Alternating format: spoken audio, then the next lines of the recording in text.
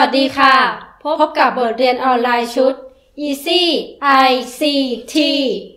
บทเรียนที่จะนำทุกท่านเข้าสู่โลกของเทคโนโลยีสารสนเทศและการสื่อสาร บทเรียนที่คุณจะศึกษาได้ง่าย ๆ จากที่บ้านของคุณเอง ดิฉันอาจารย์รัชดาเทพประสิทธิ์ และดิฉันนางสาวนิชนันปัญญา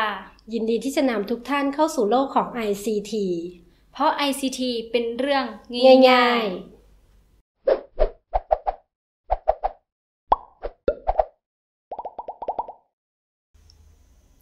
นิชนานใช้อีเมลของอะไรอยู่คะ ใช้ Gmail ของมหาวิทยาลัยของเรานี่แหละค่ะ มีพื้นที่แบบไม่จำกัดด้วย อืม แล้วถ้าหาตึกในมหาวิทยาลัยไม่เจอ หนูค้นหาเส้นทางจาก Google แมปแป๊บเดียวไปได้ทุกที่เลยค่ะ แล้วถ้าเจออาจารย์ชาวต่างชาติล่ะ เปิดแอป Google Translate ด่วนเลยค่ะอาจารย์ พิมพ์หรือพูดใส่แอปปุ๊บแปลให้ปั๊บ ดูหนังฟังเพลง YouTube สิคะ แถมอัปโหลดคลิปของหนูได้อีกด้วยค่ะ แล้วสืบค้นข้อมูล อะไรอะไรก็ถามอากู Google กันทั้งนั้นเลยค่ะอาจารย์ อืม ถ้าอะไรอะไรก็ Google ขนาดนั้น งั้นอาจารย์มีไอเดียอยากสอนออนไลน์ ด้วย Google Classroom แล้วล่ะ Google Classroom อืม Google Classroom ออกแบบมาเพื่อให้ผู้เรียนสามารถเรียนรู้ได้ทุกที่ทุกเวลาผ่านอุปกรณ์ เช่น คอมพิวเตอร์ แท็บเล็ต หรือสมาร์ทโฟนของตนเอง ส่วนผู้สอนสามารถสร้างและเก็บงานได้โดยไม่ต้องสิ้นเปลืองกระดาษ ประหยัดเวลาและค่าใช้จ่าย โดยระบบจะสร้างโฟลเดอร์ Classroom ไว้ใน Drive ของแต่ละคน เพื่อเก็บรวบรวมจัดระเบียบงานให้โดยอัตโนมัติ นักเรียนสามารถติดตามว่ามีงานอะไรบ้าง ที่ใกล้ครบกำหนดส่งงาน ส่วนผู้สอนสามารถดูว่าใครทำงานเสร็จ หรือยังไม่เสร็จได้อย่างรวดเร็ว แล้วยังสามารถตรวจงานและให้คะแนน พร้อมแสดงความคิดเห็นให้ได้ทันทีเลยค่ะ หรือจะสอนแบบถ่ายทอดสด สนทนากับผู้เรียนรายกลุ่ม ด้วย Hangout ก็ได้ ว้าว ดีนะคะ หนูว่าช่วยให้บรรยากาศของการเรียนน่าสนใจ และพวกหนูก็จะกล้าแสดงความคิดเห็นในชั้นเรียนมากยิ่งขึ้นค่ะ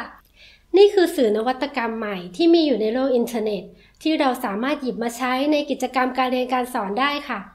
ตอบสนองความต้องการของผู้เรียน และพร้อมรับโอกาสการเรียนรู้ในศตวรรษที่ 21 มุ่งเน้นการผสมผสานเทคโนโลยีการเรียนรู้ และกระตุ้นการสื่อสารผ่านโซเชียลเน็ตเวิร์กให้เกิดประโยชน์ทางการศึกษายิ่งขึ้นค่ะหนูอยากทราบแล้วล่ะค่ะ ว่าเราสามารถนำเทคโนโลยีในปัจจุบันมาใช้ในการเรียนการสอนยังไง และเราจะประยุกต์ใช้ Google App for Education ในชั้นเรียนได้อย่างไรคะ ในบทเรียนนี้เราจะศึกษาความรู้พื้นฐาน การออกแบบการเรียนการสอนโดยใช้เทคโนโลยีเป็นฐาน การออกแบบการเรียนการสอนในยุคดิจิทัล มีความรู้ความเข้าใจเกี่ยวกับการใช้ชุดเครื่องมือ Google App for Education ในการจัดการเรียนการสอน มีทักษะในการสร้างเอกสาร ฟอร์ม เว็บไซต์ และ Google Classroom สามารถประยุกต์ใช้งานในการเรียนการสอน สามารถแก้ไขปัญหาทางด้านการศึกษาได้อย่างมีประสิทธิภาพและมีประสิทธิผล บทเรียนชุดนี้มีวัตถุประสงค์การเรียนรู้ดังนี้ค่ะ 1. มีความรู้เกี่ยวกับการออกแบบการเรียนการสอนในยุคดิจิทัล 2. มีความรู้ความเข้าใจในการใช้โปรแกรมประยุกต์ เพื่อสนับสนุนการเรียนการสอน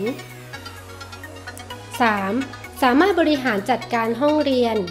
ออกแบบวิธีการเรียนการสอนโดยใช้เทคโนโลยี Google App for Education 4. สามารถเลือกใช้เทคนิคที่เหมาะสมในการจัดการเรียนการสอน โดยใช้ Google App for Education 5. สามารถออกแบบพัฒนาสร้างสารรค์ห้องเรียน โดยใช้เทคโนโลยีที่เหมาะสมตามความต้องการได้